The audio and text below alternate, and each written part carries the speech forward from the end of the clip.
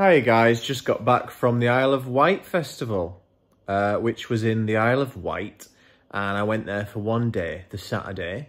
It is now Sunday. Um, on the Friday, I went to Arctic Monkeys, which I've done another review of on my YouTube, and I had a terrible time there because I nearly expired in a human crush, as discussed.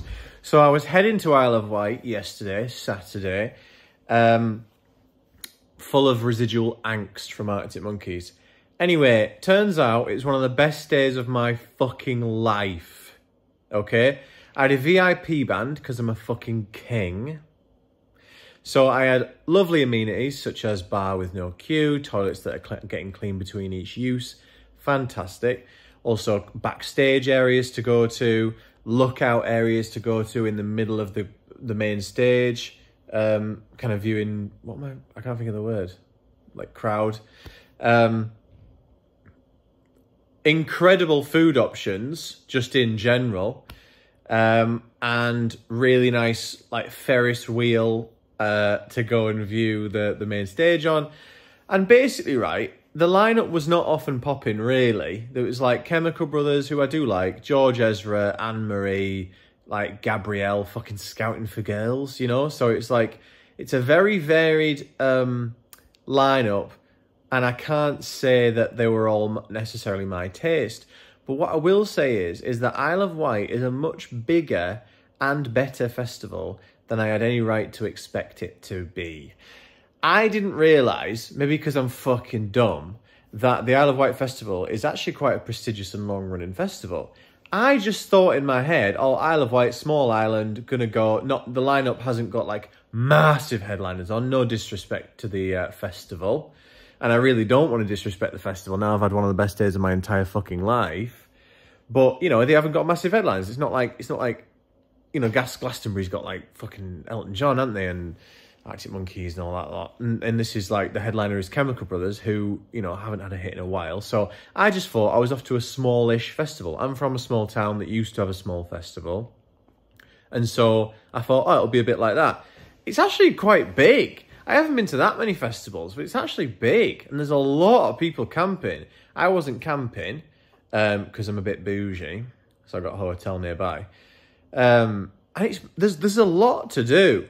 I'm not saying the tent selection is like completely on point, but there's a fucking selection. I'll give you that. I'll tell you that for free. I'll tell you that for now.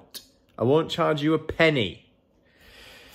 Anyway, have I mentioned the fact that the VIP band, because I'm a fucking king, gave me access to all the amenities? I think I have, viewing platform, things like that, yeah. So I managed to see Chemical Brothers in the best seat in the house. And I've said that many times in my life. Oh, best seat in the house. Restaurants, cinemas, things like that.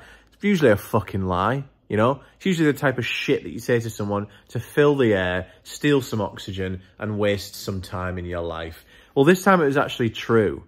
I was in the best seat in the house. I was literally sat on a viewing platform in the middle of the main stage crowd, looking directly at the main stage at a higher level than anyone else. It was fucking ridiculous. And I had a great time.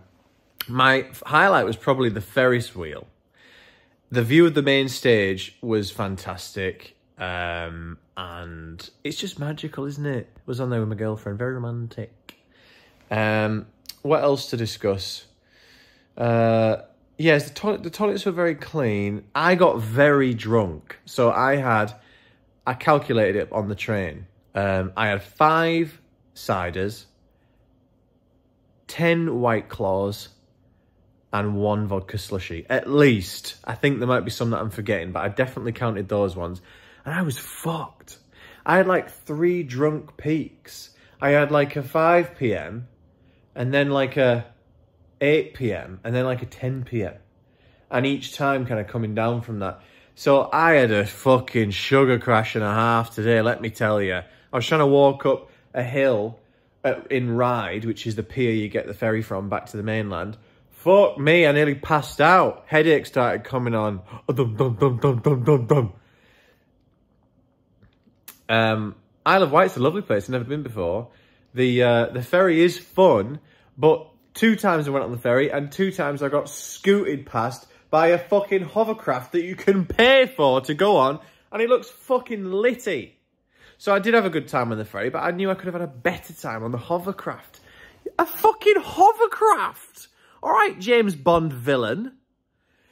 So it was in stark contrast to my Friday night Arctic Monkeys, which you can go watch the review for.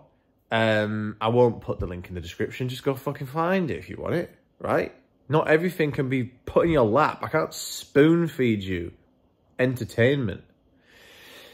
In stark contrast to Friday night, I had a wonderful time at the Isle of Wight Festival. It was a 10 out of fucking 10. I ended up, you know that time where you're just kind of like enjoying things that you wouldn't normally, things that you wouldn't normally enjoy because you're a moody cunt. That's what I felt like. I was like enjoying like shit tents and shit food and artists that I don't even like, who I won't mention because I don't want to slag them off. Gabrielle has a wonderful voice. Who knew? Uh, she hadn't had a hit for about 20 years and her voice sounds better than ever. I was stupid for a while. That's not the lyrics, but it's that song.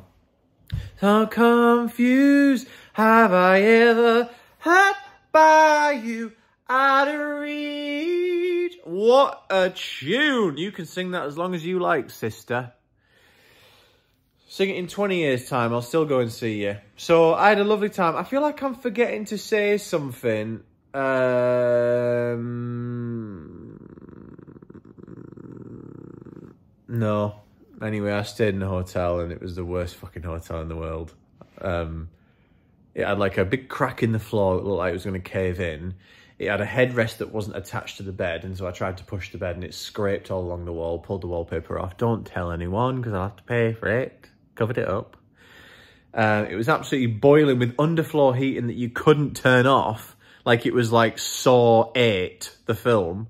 And that was the first form of torture. Just underfloor heating, just baking, hungover.